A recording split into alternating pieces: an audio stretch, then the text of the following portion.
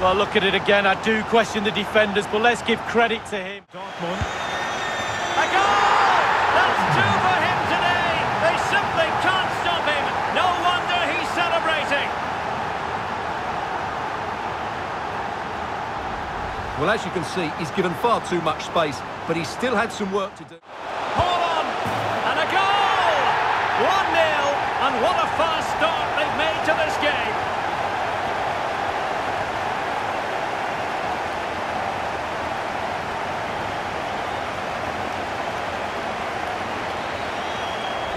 Well, here it is again. He goes past his marker so easily with just a drop of the shot. Take the chance. And a goal! The quick one too. And they've turned this game on its head.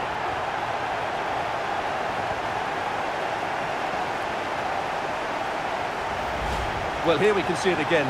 Look at the way he glides past the defender. to on for him here. Oh, it's in! The opening goal in the derby. And listen to what it means.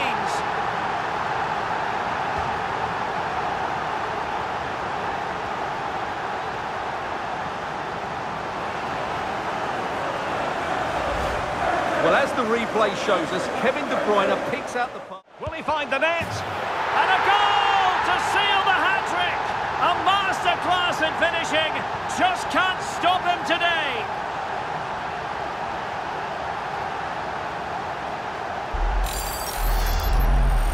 Well, as you can see, they finish this really easily. They don't give the keeper... He put them in front. He does!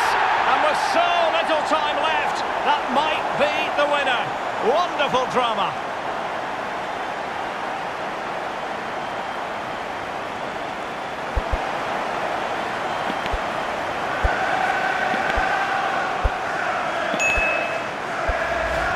Well, that was a fairly easy finish in the end, but he still had to take it.